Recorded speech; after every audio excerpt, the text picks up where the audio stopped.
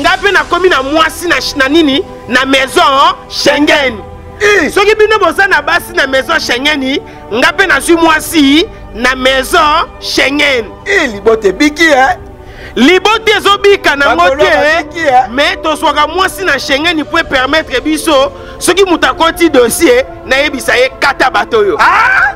tokendeki kodepose dossier na maison schengen bambanda na biso bakolege na biso ya bawangila basalaki je moko kizengi bakei koyebisa mwasi na bango oyo atravayaka na maison shengeni akata bakomo na biso nayebisaki indien monsieur l'indien monsieur supu ekauka ah? nayebisaki monsieur l'indien supu supu ekauka nayebisi supu supu ekauka nalobi boye supu supu faites attention moi je suis goldberg de youtube alukaki asala bloc moko ya bacomédien atinda bango poto mpo bakende koconquérir badate na biso ola sukisa wana asukisi wana te aye koprépare deuxième délégation na kati ya deuxième délégation nazomona décor nazomona nkele nkela nazomona mwana wa mabindi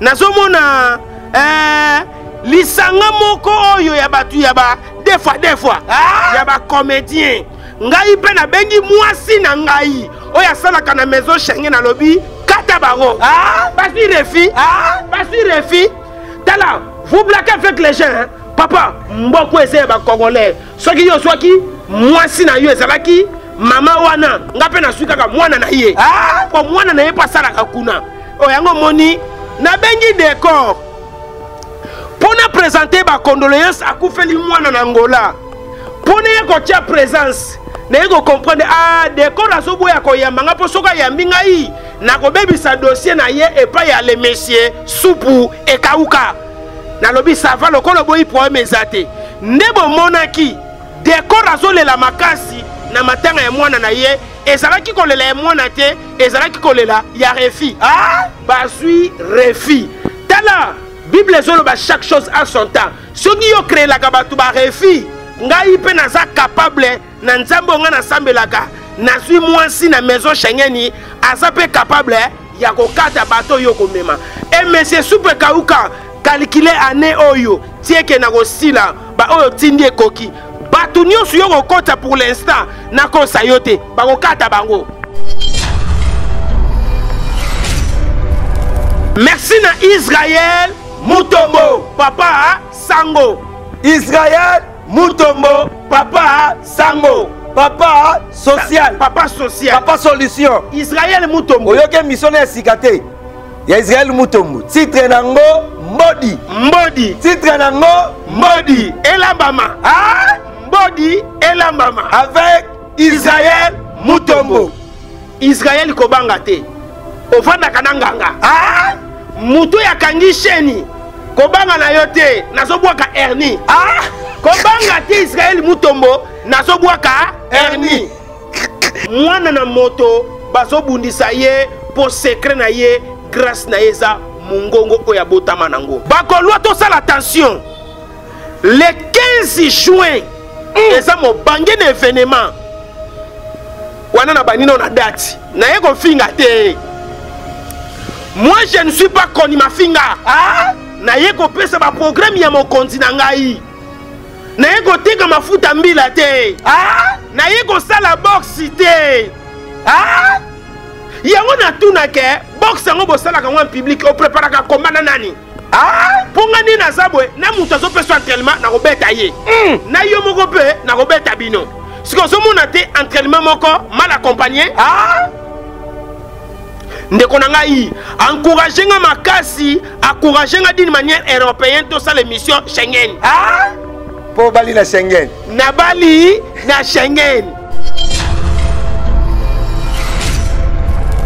le frère mike kalambay mon pasteur je vous felicite et na bwakelo ba flair na moni bilembo satanique te ah? na kati ya le 26 mai 2024 d'abord na felicite yo na mosala kitoko osali sauf ke nalukaki yo na paris tokutana yo sambela mpo na nga nga mpe nasambela mpo na yo mais okimaki ah? kasi nabwaki bafélicitation meme awa na kinshasa bato nyonso bazofelicite yo Pasteur Mike Kalambayi, mwana na Nzambe azalaka toujours combattu. Na comprendre ete ces derniers temps bazobundisa yo mingi, bazokombattre yo mingi. Mais wumela toujours na bonzambe.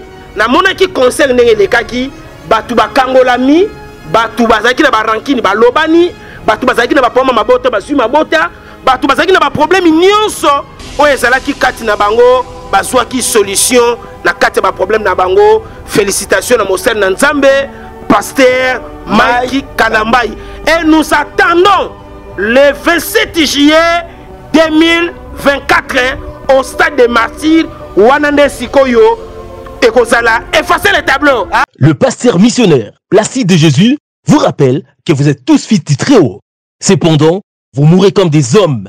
Vous tombez comme un prince quelconque. Voici venu le moment de récupérer le pouvoir qui vous a été accordé, puisque vous l'avez reçu et ainsi obtenu le pouvoir de devenir enfant de Dieu. Parce que l'écriture ne peut être anéantie, notre hôte, le pasteur patriote Placide de Jésus, le pasteur Dominique Mong pasteur Martin Nduengoso, ainsi que l'apôtre Martin Makoma, vous convient à la grande convention en verse pour Christ. Une convention en verse pour Christ, en verse pour Christ.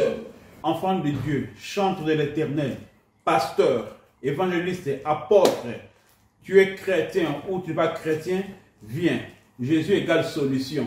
Jésus égale miracle. Jésus égale guérison. Jésus égale délivrance. Tu es invité, tu peux se inviter, même avec les cas difficiles. Avec Jésus, nous avons le pouvoir les marques sur les scorpions et les dragons.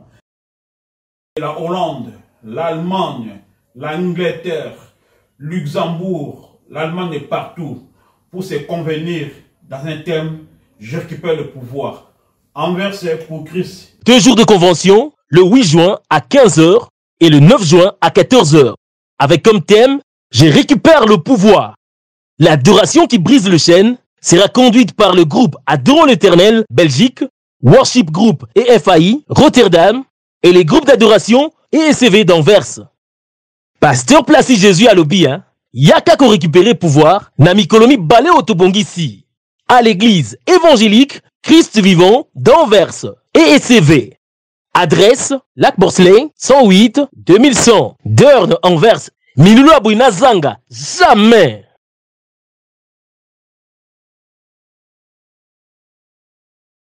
Restaurant Paradis Secret, restaurant aux spécialités africaines, en pleine région parisienne, chez Chiquito Papa Paradis, au numéro 10 de la rue Pierre et Marie Curie, 77 380 à Comble-la-Ville.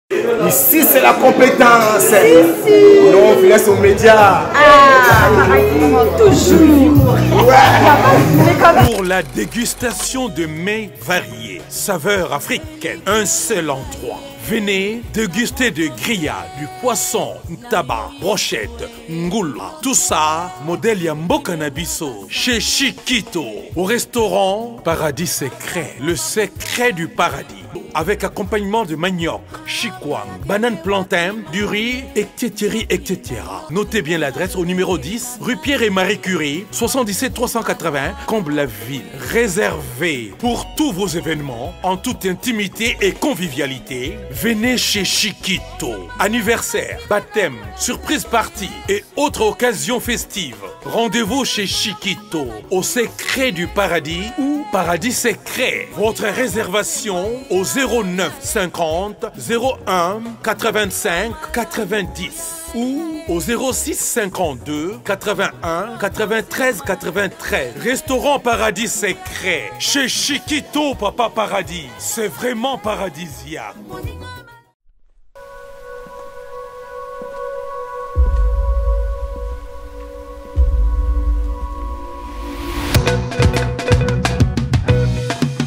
Cette fois-ci, je vous invite à la Didas Arena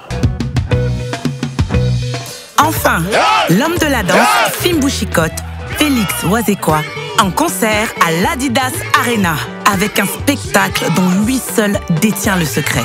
Il est considéré comme le roi du spectacle musical sur la scène congolaise et africaine. Depuis son dernier concert à l'Olympia et aux Zénith de Paris, le monstre d'amour, Félix Oisekwa donne rendez-vous aux inconditionnels de la rumba congolaise et du ndombolo le 1er juin 2024 à l'Adidas Arena pour un concert spectacle de légende. avez déjà Yako là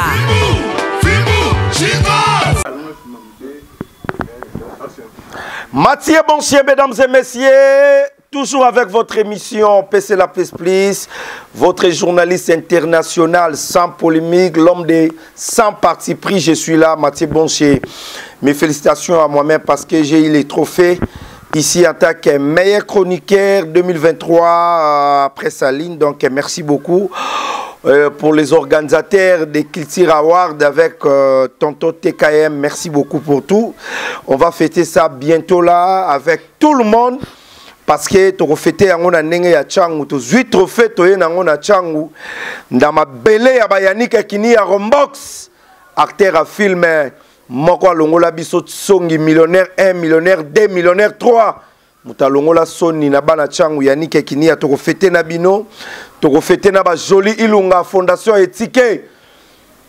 très très fort joli ilunga merci beaucoup tokofete na batrezege muti trésor muti wani fondation muti wani bakim salumu boza mwa ebele ba arsène toya le jeune millionnaire arsène toya tokofete na bafuidi nsoni le boss sele mvuama boss sele mvuama très très fort tokofete na bayanike mawanika antitero trophée ye deja changu jani ngangu playboy trophée ye deja changu lova kanza nzeta malili matie bonse azwi trophée aye nango esali joel kubuyuyu très bien esepelisi pdg mosengo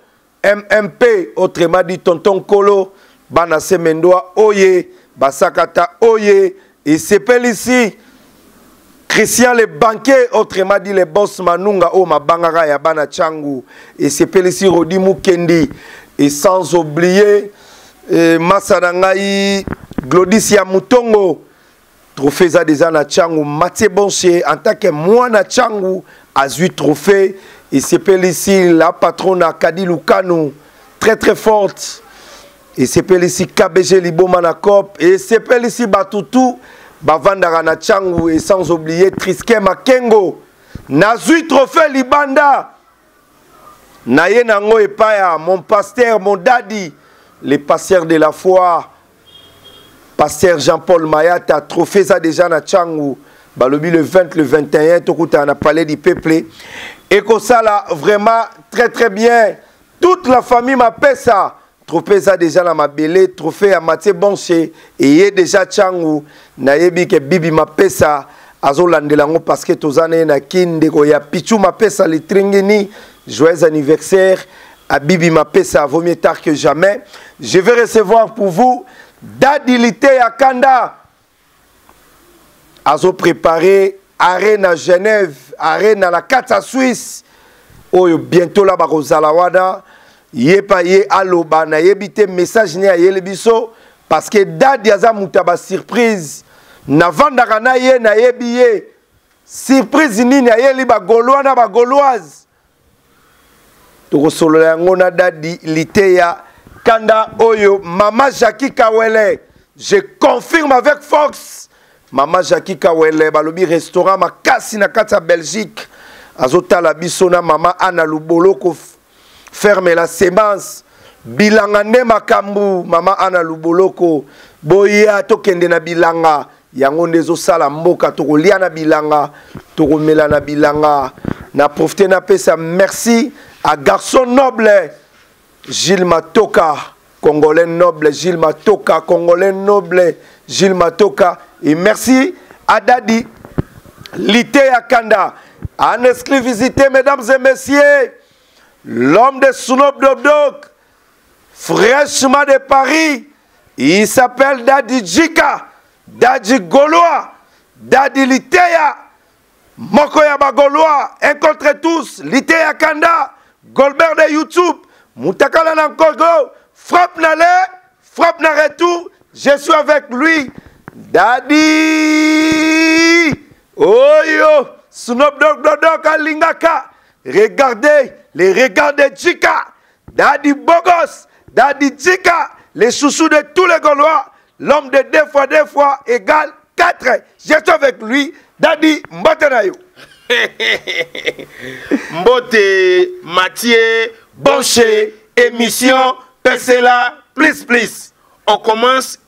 par félicitations. Ah!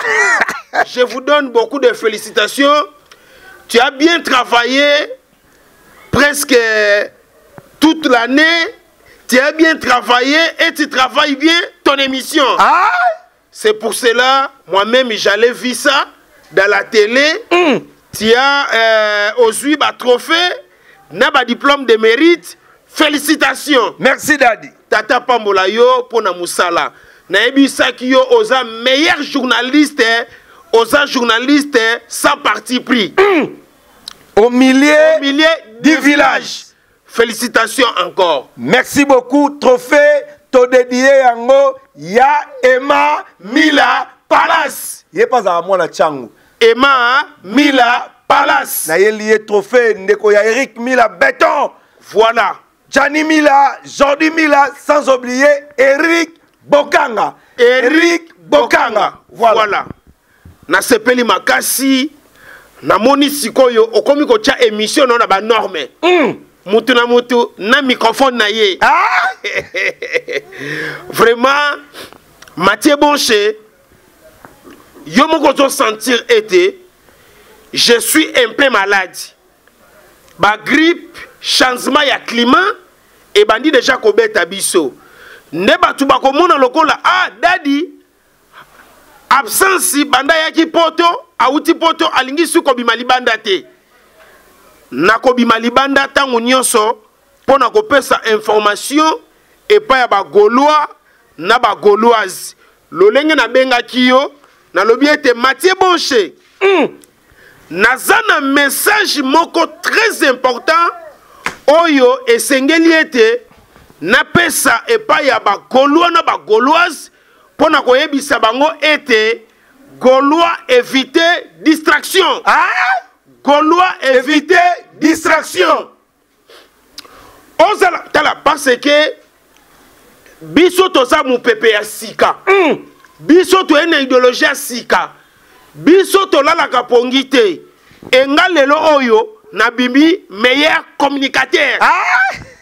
tala ndeko na nga matie bonche tosepelisi bagolois Lolenge oyo ba Golois ba bandaki kozela basepela na façon wana et tosepelisi bango plus que lolenge bango ba bandaki kozela parce que ba Golois basepeli mpo tosali soni te tomati avion na kimia tokomi Paris na kimia tosali mosala oyo bango batindaki biso tozwaki mission de service na kimia tozongi na kimia est ce que yo oyoki entre le communicateur ya golois ya bagolois babandi opération mafingameni ah?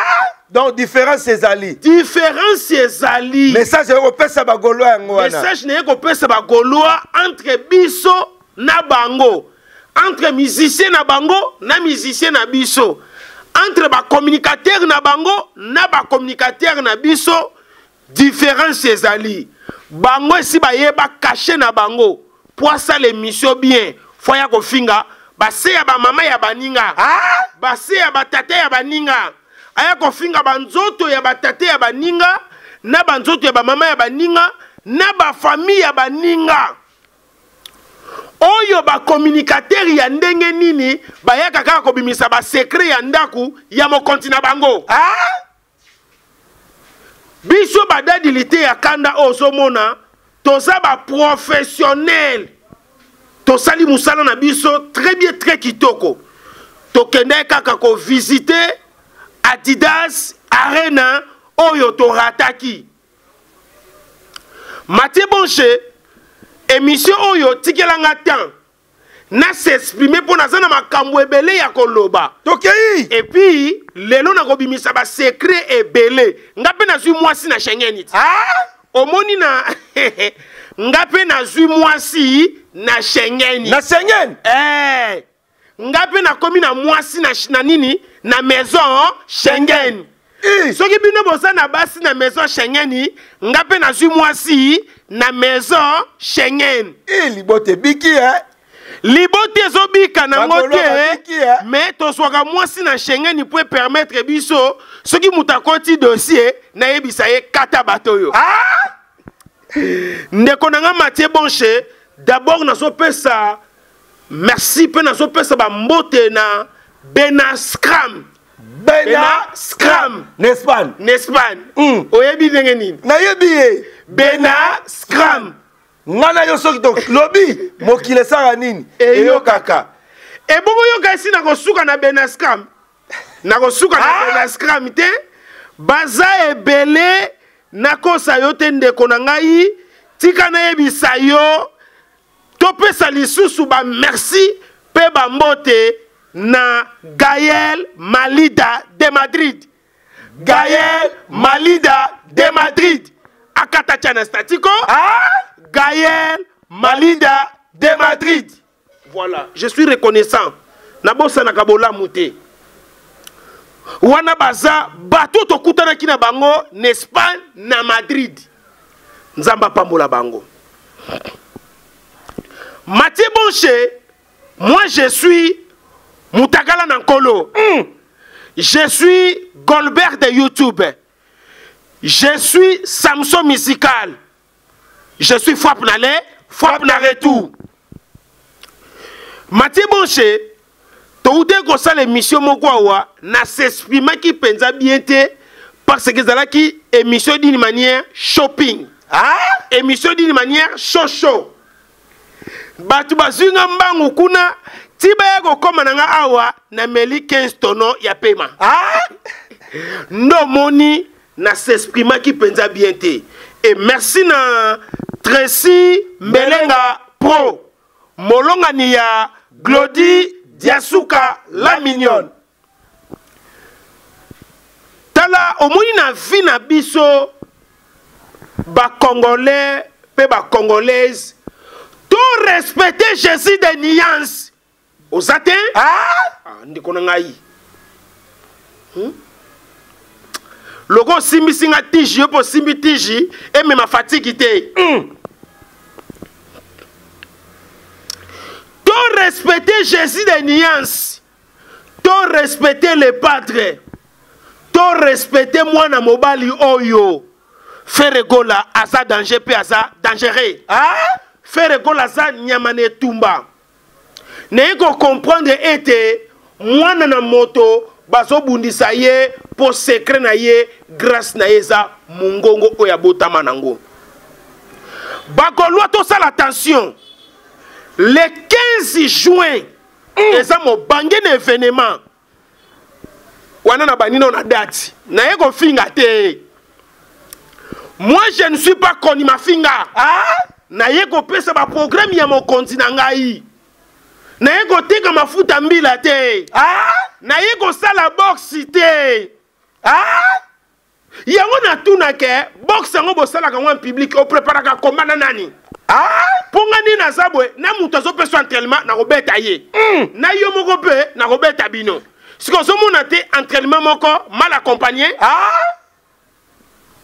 ndeko na ngai encourage nga makasi encourage nga d'une manière européenne tosala émission schengen ah?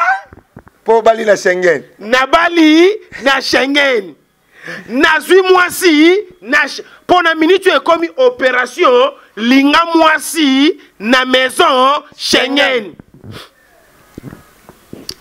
merci na israel mutombo papa sango israel mutombo papa sango papa social papa social papa solution israel mutombo oyoki emission na ya sika te ya israel mutombo titre na ngo mbodi mbodi titre na ngo mbodi elambama ah? mbodi elambama avec israel mutombo israel kobanga te ofandaka na nganga ah? motu yakangi sheni kobanga na yo te nazobwaka herni ah? kobanga te israel mutombo nazobwaka herni ya tous les deux mbuma tous les deux lingundu ah voilà israel mutombo batela kimia merci ya christian botenge christian botenge azalaka tro na leki ya israeli mutombo na matière digitale matière digitale voilà merci matie bonche naza na souci makasi eh? po na stan na stan na stan stan de, de dubai ah stan to amemaki yo na boîte stan de, de dubai mike pire petit ya israel mutombo mike stan ok tokende tokei ndeko na nga matie bonche émission oyo eza mpo onansaki yango bien te ozwi ntan na yo ebele obwaki bwaki bwaki bayaya na yo ya cangu nazoyeba pe te bayaya yango baza bato bakara makasi e eh? ozwi émission otye ngo bloc dédicace faut faire très attention bamabanga oyo tobwakaka c'est bien mais ebomaka mpe émission soki ekomi koleka ebele kiprofessionnalisme esili bango bazalaka bongo ozobwaka bazosepela mais aucune réaction ah?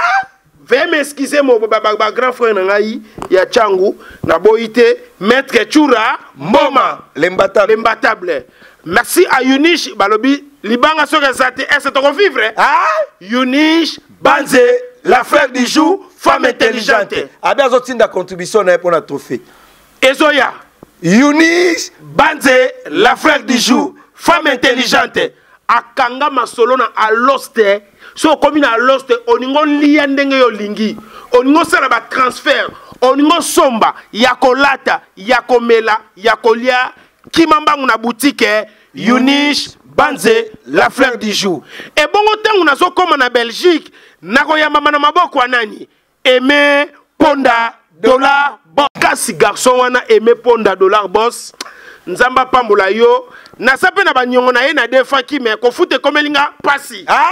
aime ponda dollar boss ye azalaka soki nalobi boye ayebisi nga alobi dadi pourkui yo makambo tosalaki ya kuku obimisi na secret si c'est comme ça lia na mbongo yango ah! aime ponda de la boss toke na message yo omela mai te là vous avez raison ben dolce festival ya bilamba merci beaucoup euh, boza ebele pichu mapesa litringini et sans oublier arsène toya le jeune millionnaire respect beaucoup à gilles matoka garçon noble et très très voilà. intelligent tokei dadi esengaka na vi nakoma golwa mpo nazwa bokangolami ah? esengaka na vie na ngai nakoma golois mpo nazwa elevation matie bonche nazala na ngai na succès mais succès oyo nakomi nango ngai moko nazomituna nasimbi wapi ah? nasimbi wapi meme ba parents nanga bazokamwa balobi lek mwana na biso mm. toyebaka yo ozalaka na succès mm. mais succès oyo ekomi imposi mpe nga lobi jésus de nuance ah? le padre mm. moto a yambo roi 24 l'homme de double date c'est-à-dire kokangama na ye apanzaka je ah? lelo oyo na vie eza na bato mosusu baza bato ya kokangama na bango te kobanda na bapire peti na ye mokonzi ya bawangila mm. kobanda na bana na ye apesaka motu moko te chance tobelelaki awa koko koko koko koko où est parti les chansons de kokobar ah? où est parti les chansons de kokobar mwana napesaki yo conseil ndenge otie deja lokolo moko libanda bimisa makolo nyonso mibale ah? otiaka tembe où est parti robino mundibu nayebisaki robino na repetaka likambo oyo nayebisaki robino soso ya mboka oyo ya kokoriko ah? Ntaba oyo ya mobali ya mandefu mungwa basenzi makasu mundongo soki ekoti na ntango te pas de liberation ah!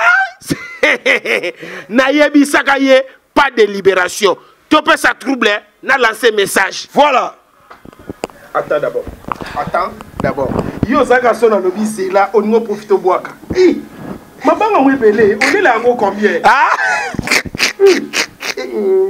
utilisako makasi e eloko po excuse nga j'ai grippin j'ai grippin je suis grippinage ndeko na ngai oyebi ke Émission on a sala ka ba tebele balo baka il dadi tu es trop comique hein? ah? Tu fais l'émission comédie mienne. Ah comédie à 100%. Na pe ça trouble. zela oyo kasi ko trouble ya parisien na chante mpe formule ya trouble ya trouble yango ekomi ya nani ekomi ya trouble moko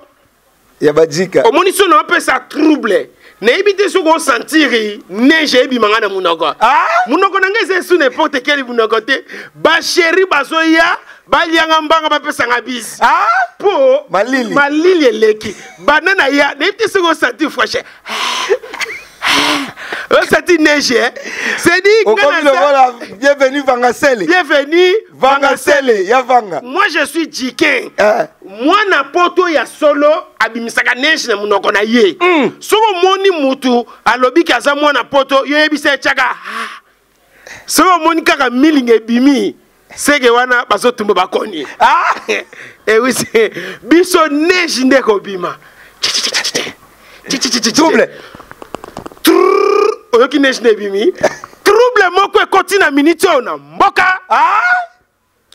oyo nakopapolela yango mpenza bato biebe surtout na eglize nakobeta bato lolenge oni napapoli yo na nyati yo oza te ah! nakwesi yo ah! okɔta te hôpital Mathieu Bonche, Bible ezoloba chaque chose à son temps.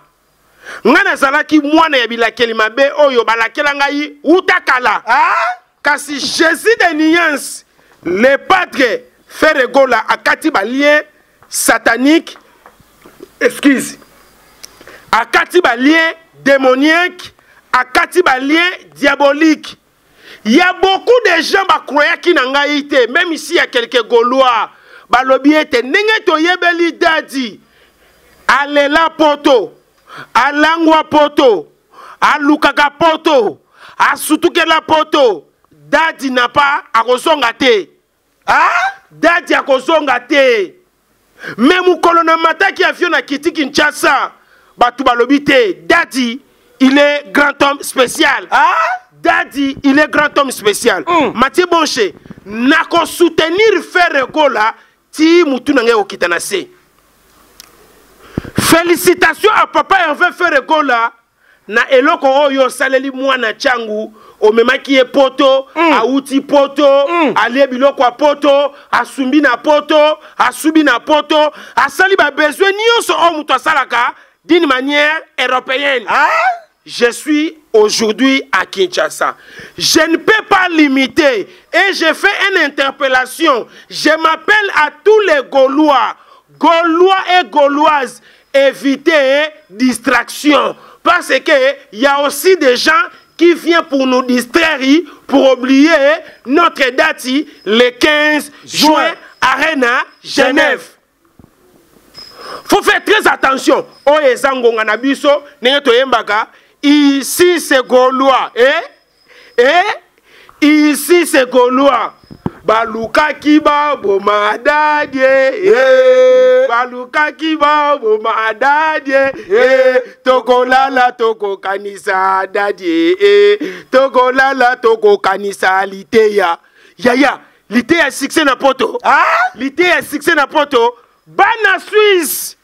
Genève, hey. Suisse, hey. la 15 hey. Est-ce tozoya ah? wana olingi otuna ni est ce que okokende tokokende te te yo moto olokaka ngai ah? lokola bolatisa nga kashi ya libabe bozomituna bakestion ndenge aye boye eske akoka soki ozonga mm. bato ebele mpe na poto bayebisa nge babidadi awa ezalaka soki oye kozonga na loyenge te bazonga bakoka lisusu koya te est ce que yo kozonga grâce ya papa herve ferregola jesi de nias le patre moto ya yambo nazoya suisse arena suisse genève bamama suisse bozela ngai j'arrive ba papa suisse ba jeune en suisse on arrive à très bientôt le 5 est tout près de moi ah? le 5 est tout près de moi voilà nakota dossier pasteur mikey kalambayi félicitations mosali na nzambe mm. ngai na soutenaka ya malamu mpe ya bolingo l'homme de dieu ezalaki kitakita le 26 mai na, gene, na, na zenith de paris le frère mike kalambail mon pasteur je vous félicite e nabwakelo bafleur namoni bilembo sataniki te ah? na kati ya le 26 mai 2024 d'abord na felicite yo na mosala kitoko osali sauf ke nalukaki yo na paris tokutana yo sambela mpo na nga nga mpe nasambela mpo na yo mais okimaki ah? Kasi na bwaki ba felicitations meme awa na Kinshasa bato nyonso bazo feliciter yo Pasteur Mike Kalambayi mwana na Nzambe azalaka toujours combati na comprendre ete ces derniers temps bazo bundisa yo mingi bazo combattre yo mingi mais wumela toujours na bonzambe namonaki concert ndenge elekaki bato bakangolami bato bazalaki na barankini balobani bato bazalaki na bapoma mabota bazwi mabota bato bazalaki na baproblème nyonso oyo ezalaki kati na bango bazwaki solution na kati ya baproblème na bango félicitation na mosali na nzambe pasteur mike kalambai et nous attendons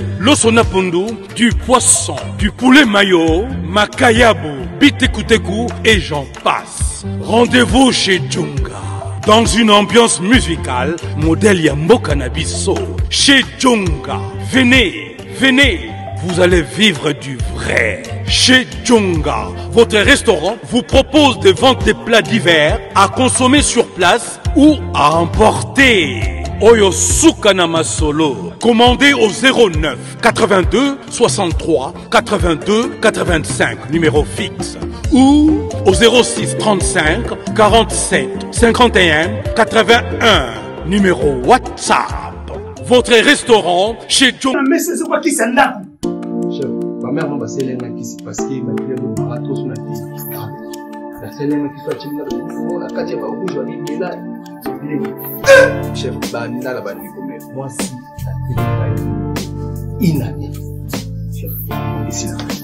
omoni bokufaka oyo oyo oyo biloko ezoboma bino ndela oyo lokola kisi ya ndako papa oyebi te ke laboratoire ya misine esene biso solution wuta kala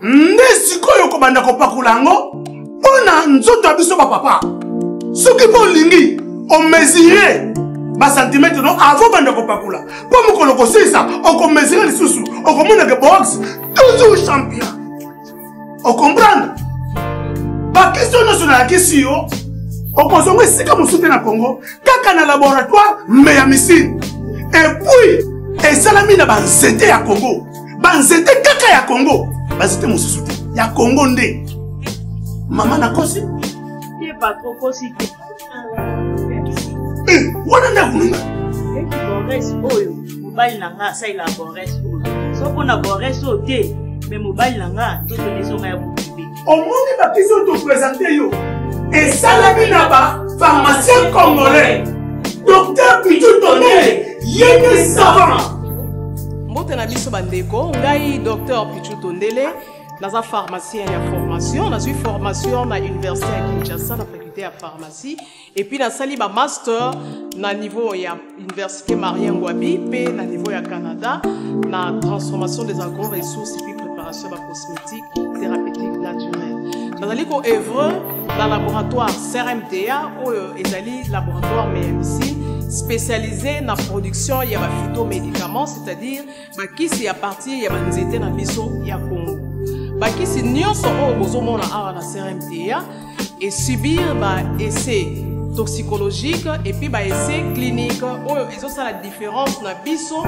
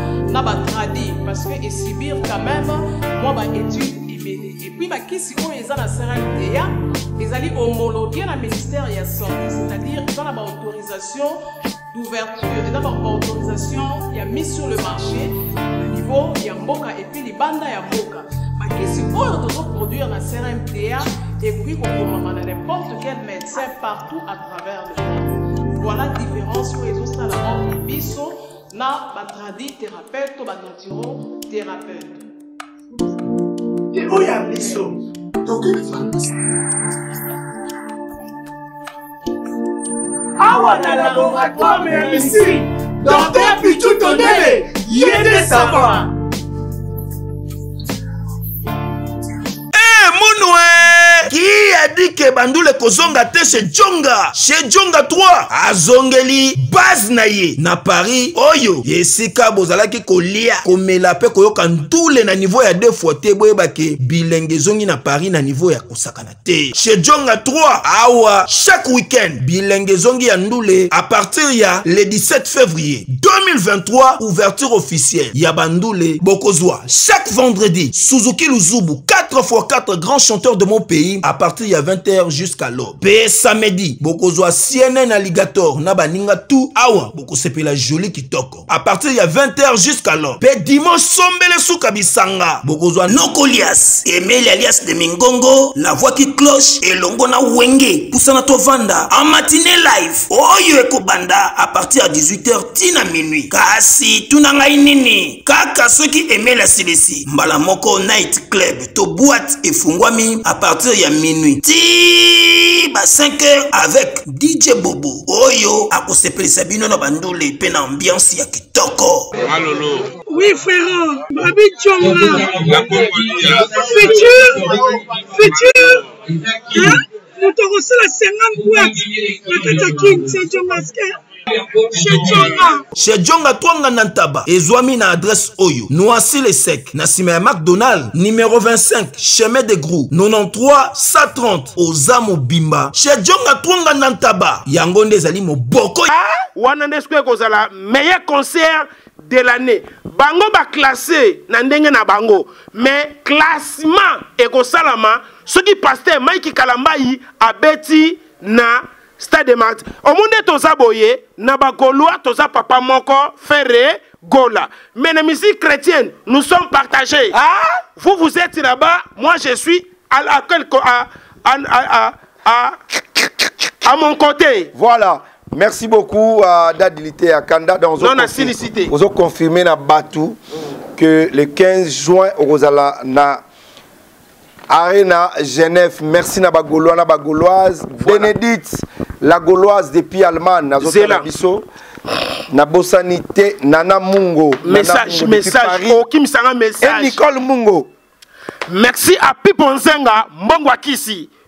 Pipo Zenga mbongo ya kisi yaya garçon play garçon souple bakati ye ah. ah nzambe na ngai ye eh. te namoni bakati ye ah. voilà ah. matie bonche ntango nayebisi yo ke nazwi mwasi na maison Schengen ah? yo trouve yango lokola ba blague biso ntango totyaki tokendeki kodepose dossier na maison Schengen bambanda na biso bakolege na biso ya bawangila Basalaki je moko kizengi bakei koyebisa mwasi na bango oyo atravayaka na maison shengeni akata bakomo na biso nayebisaki indien monsieur l'indien monsieur supu ekauka ah? nayebisaki monsieur l'indien supu supu ekauka nayebisi supu supu ekauka nalobi boye supu Supu, faites attention. Moi je suis Goldberg de YouTube. Alukaki asala bloc moko ya ba comédiens atinda bango poto mpo bakende ko conquérir ba date na biso. Ola sukisa wana asukisi wana te. Aye ko préparer deuxième délégation. Na kati ya deuxième délégation nazomona décor. nazomona nkele nkela nazomona mwana mabindi nazomona eh, lisanga moko oyo ya bato ya ba defwa defwa ah? ya bacomédien ngai mpe nabengi mwasi na ngai oyo asalaka na maison shenge nalobi kata bango ah? basui refi ah? basui refi tala vous blaquez avec les gens hein? papa mboku eza ya bacongolais soki yo ozwaki mwasi na yo ezalaki mama wana nga mpe nazwi kaka mwana na ye ah! po mwana na ye mpe asalaka kuna oyo yango omoni nabengi decor mpo na présente bacondoléance akufeli mwana na ngola mpo naye kotya presence naye kocomprendre a ah, dekor azoboya koyamba ngai mpo soki ayambi ngai nakobebisa dossier na ye epai ya le monsieur supu ekauka nalobi sava lokola oboyi problème eza te nde bomonaki dekor azolela makasi na matanga ya mwana na ye ezalaki kolela ya mwana te ezalaki kolela ya refi ah? bazwi refi tala bible ezoloba chaque chose a son temps soki yo kreelaka bato barefi ngai mpe naza kapable na nzambe oyo ngai nasambelaka nazwi mwasi na maison shengeni aza mpe kapable ya kokata bato oyo okomema emese supu ekauka kalikile ane oyo tieke na kosila baoyo otindi ekoki bato nyonso yo kokota pour l'instant nakosa yo te bakokata bango merci beaucoup dadi lite ya kanda okoyembela bango nzembo bandeko na ngai ya este nabosani bino te o oh. oyo ezoleka lelo etali bakongole nyonso ye nzambe apesa biso richesse bango basepelaka te o na presente bamecondoleance na rataki yango na debit oyo eza émission pesela plus plus eza émission complet papa yo oyambaki ngo olobaki bilobela na debi tikanga mpe naloba eloko e eh, ndeko nango oza fatigue eh. na présente ba mes condoléances na bafamille nyonso bozwi bamatanga oyo oh, bozolela boza na mpasi na ntango oyo na souhaite ba bonne guérison à tous les congolais oyo bazobela sante ezotungisa nzambe abikisa bino bakongole babengi nga babidadi toyebi yo okotaka no politiki te mpo obangaka no makambo oza na famille pauvre ebongo nzala oyo emati makasi boye na kinshasa na biloko emati dadi pardon toyebi oza vaurien de la république ah? oza kizengi ya mboka bato bayokaka yo bwaka ata mbela peut-être okoki kozwa ata chance ndeko na ngai hey, eh, balocataire bazosambwa na kinshasa biso balocataire yaya hey, eh, yaya locataire azolela pasi na pasi ndeko na ngai tolobaka yango ata mwa moke moke na émission oyo ekozala mpe problème te bacongolais bakosepela parce que tokanisi mpe bango merci à tous les gaulois merci à tous les congolais merci à tous les amis de lite ya kanda merci na maître mabende bacharge merci na ya papi buzi papa français, français. merci na maison kitams pablo, pablo kitambala, kitambala. Merci na maître animal Mbata bisika bizwami yo merci à tous les combattants. Obosani vision travel. MT c'est-à-dire il faut le baboyer. Nabosani agence de, de voyage, voyage vision travel. la joie kitenge ye wana félicitation à vous la joie kitenge vision travel bisika bizwami yo merci na baye nyonso bopesi biso confiance mon grand frère emma mila ya emma mila palace merci à pdg mosengo mmp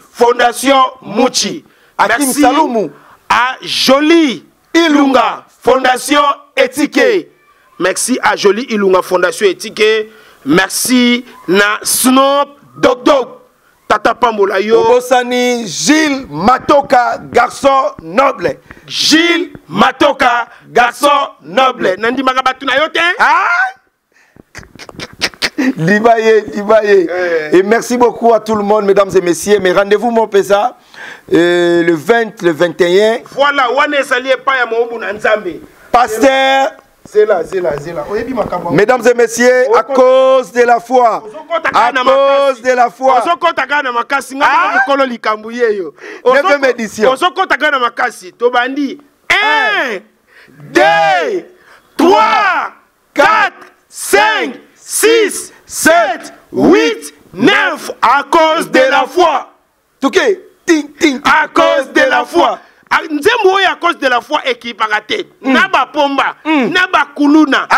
na bana na nzambe mm. eza nzembo oyo ezalaka na bokangolami motu nyonso foi yemba yango à cause de la foi 9e édition à cause de la foi au palais du peuple. À cause de la foi. Le 20, le 21 juillet.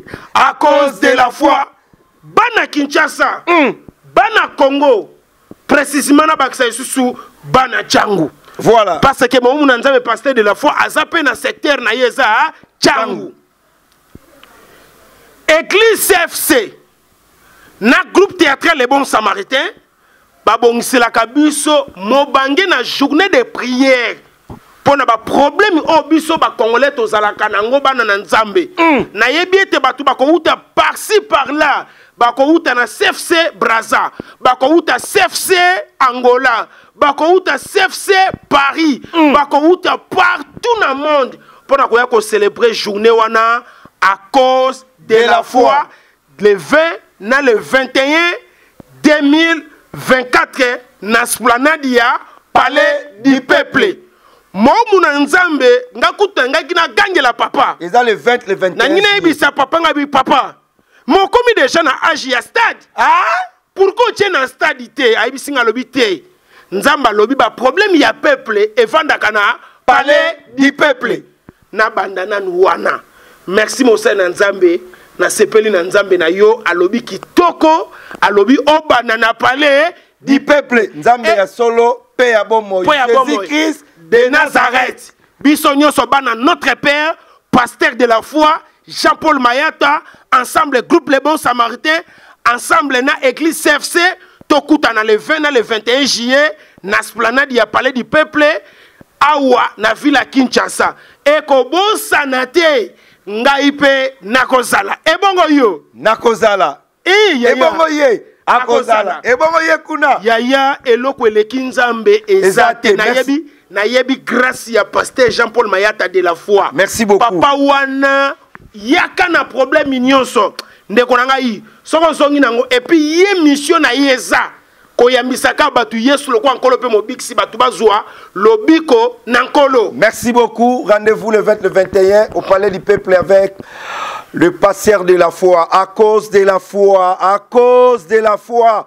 à cause de la foi cette fois-ci au palais du peuple tolobela musique tolobela politique tolobela mpe bonzambe toza kidiba te à cause de la foi le 20 le 21 ekosala bien et merci na bandeko nyonso bazotala biso agence yango ozoseka na angola kitu travel etali nga te kitu travel etali nga te na luanda balobi agence de voyage avec patrick kimbondo hein, patrick kimbondo anoir tusevo balobi kitu travel olingo voyage oluka visa etali nga te ye nani kitu travel etali nga te nani kitu, kitu travel Ah, etali nga te avec patrick kimbondo nalie te merci beaucoup e balobi tokutana na tottenham bana londres tout association ya bana gimbanseke le 14 9e mois na tottenham droit d'entrée 20 livres sterling de 17h à 2h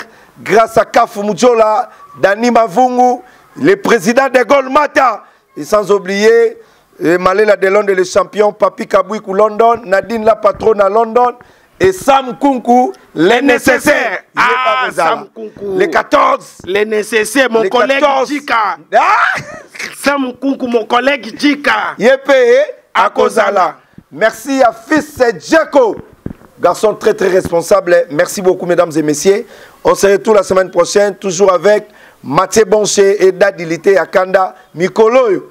so so so aspect ya bajika bokomona ah? regardez jika aspect ya ba jika obali wapi nabali na maison schengen ah? nabali na maison schengen lokola nani lokola ndeko na biso supu ekauka ah? biso nyonso tokobala na maison schengen merci beaucoup on se retrouve la semaine prochaine